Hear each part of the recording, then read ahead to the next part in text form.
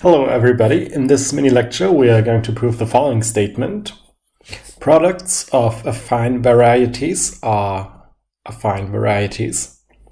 Well actually we are going to prove a statement that is slightly more general and this is the following lemma.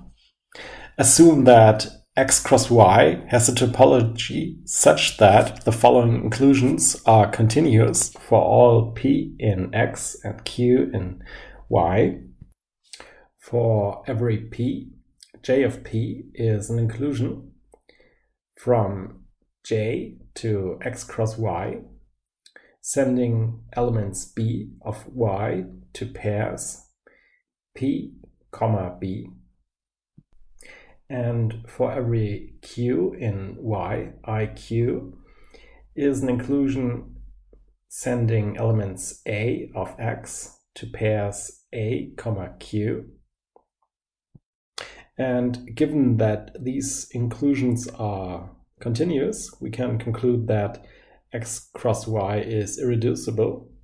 And this is what we are going to prove. Um, this is going to be a proof by contradiction. So assume that we can write x cross y as S1 union S2, where the Si are both unequal to x cross y and are both closed. Then for every p, the image of y under j of p, which is p cross y has to be irreducible because j of p is continuous and y is irreducible. So p cross y has to lie in S1 or in S2. So we can define sets T of i as the set of points P in X such that P cross Y is a subset of Si. And then we can write X as a union of T1 and T2. But Ti is nothing but the intersection over all Q in Y of the pre-images of the maps IQ of the sets SI. And these are all closed. And so the intersection is closed.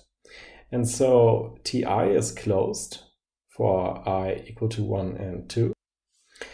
And going back to this line, we find that we have expressed the irreducible set X as a union of closed sets T1 and T2, which is of course a contradiction. So we can conclude that x cross y is indeed irreducible.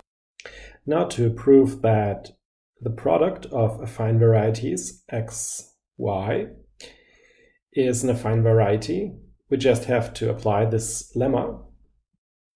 For every q in y, let the map IQ be the following map, as you can see here. And similarly for every p in X, we define a map J of p.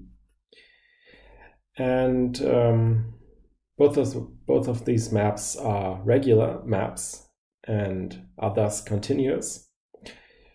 And um, so the statement follows from the lemma and um, this concludes this mini lecture. Thank you for watching. See you next time.